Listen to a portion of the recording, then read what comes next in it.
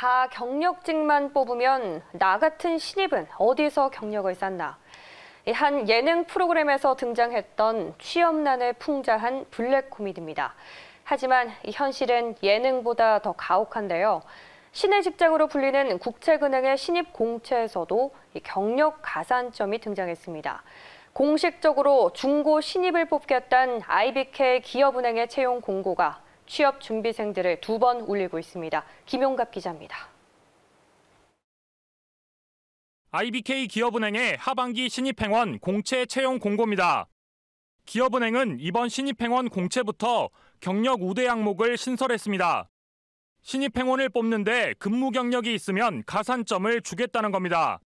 금융기관이나 국가, 지방자치단체에서 정규직으로 3년 이상 근무하면 가산점을 받습니다. 100점 만점인 필기시험에서 10점을 더 받을 수 있습니다. 가산점 10점은 관세사나 세무사 자격증을 보유한 지원자들에게 제공되는 가점 수준인 큰 점수입니다.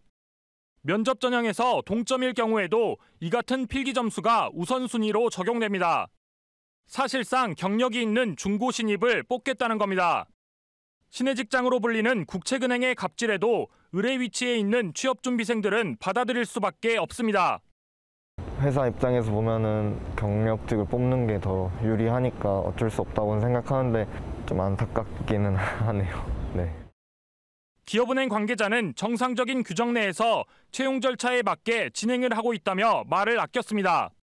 코로나19로 취업 문턱이 더 높아진 가운데 신입 공채에서도 경력이 필요해진 상황이 취업 준비생들을 두 번 울리고 있습니다.